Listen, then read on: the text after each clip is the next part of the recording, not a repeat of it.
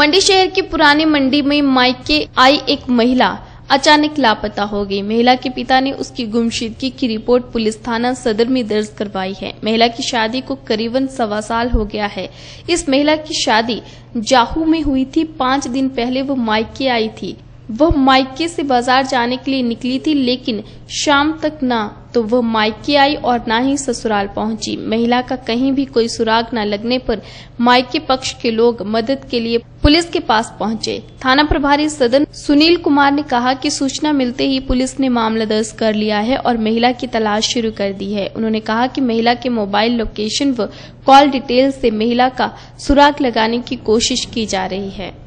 पिछले कल शाम सुखदेव नामक व्यक्ति ने पुरानी मंडी से पुलिस थाना सदर मंडी में रिपोर्ट करी कि उसकी बेटी दीक्षा, जो रक्षाबंधन के लिए राखी बांधने के लिए अपने भाई के पास यहाँ मंडी आई हुई थी, जिसकी शादी जाहू में हुई है, सुबह कल 10 बजे के आसपास घर से कहीं गई, बिना बताए चली गई और अभी तक शाम को घर तक वापस नहीं आई है। इस संदर्भ में पुलिस थाना सदर मंडी में इसकी मिसिंग रिपोर्ट दर्ज की गई है।